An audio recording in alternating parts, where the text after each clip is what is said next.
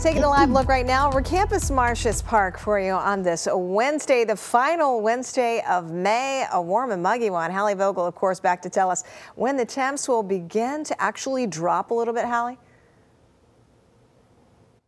Yes, we'll actually see a much cooler weekend overall. So it's going to take a couple of days to kind of scour out the humidity. So it is going to be a muggy one today, not quite as hot. We're talking only about three degrees cooler than yesterday, but still temperatures in the low 80s. So a few storms possible at the peak heating of the day, best chance after 2 or 3 o'clock. And then more showers and storms tomorrow and Friday before we cool off, become less humid on Friday, and much cooler for the weekend.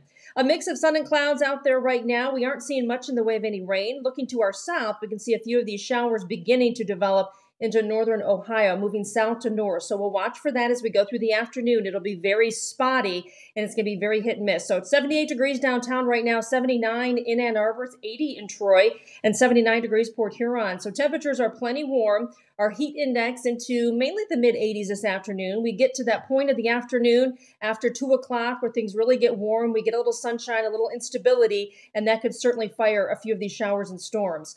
Very slow moving cold front to our west will finally move through by Friday, late morning or afternoon.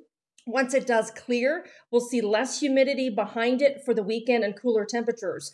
I do want to mention Tropical Storm Bertha, the second named storm in two weeks. And this is bringing flooding rains to parts of the Carolinas. It'll continue to move north into Virginia here over the next 24 hours. So, again, already active and officially hurricane season has not even begun. It begins June 1st. Well, here's our hour by hour forecast as we go through time here. Notice we get into the afternoon again after 2 o'clock o'clock, maybe closer to four or five, we see a few of these showers and storms developing from south to north across the area, very scattered in nature fairly quiet overnight. We get to morning, we're looking at a few more showers as that cold front gets closer. This will continue on and off through the morning, even going into the afternoon tomorrow. So certainly looks more numerous for Thursday into Thursday night. And then the front finally moves through by Friday. I think by Friday afternoon, we'll start to dry out.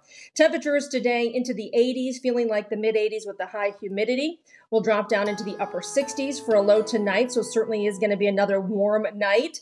We'll be in the low 80s for Thursday and Friday. Good chances for scattered showers and storms both days. We talked about the cooler weekend. We're in the 60s, in fact, so big change coming Saturday and Sunday. Refreshing, but much cooler. Alicia? We'll take refreshing for sure. Thank you so much, Hallie. Well, a group of nurses yeah. at Henry Ford Hospital